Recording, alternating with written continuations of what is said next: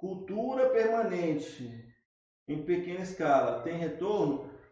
Pessoal, tem retorno, tudo que você fizer é bem feito, tá? Tudo que você fizer bem feito vai ter retorno, tá? Então, mas se o sistema for menor escala, aí você tem que trazer focos que tenham uma alta rentabilidade, tá? Focos que tenham alta rentabilidade. Então, por exemplo, você pode ter diversas culturas, mas tem algumas culturas de carro-chefe, tá? Para você ter uma maior rentabilidade. Tá? Então, é possível você ter retorno econômico em qualquer sistema, tá? em qualquer tipo de foco que você tenha e qualquer produção. Basta ter estratégias tá? e basta ter essa eficiência que a gente está trazendo para vocês aqui, trazendo essas sacadas para você ter mais eficiência, organizar sua quantia comercial e ter maior retorno econômico.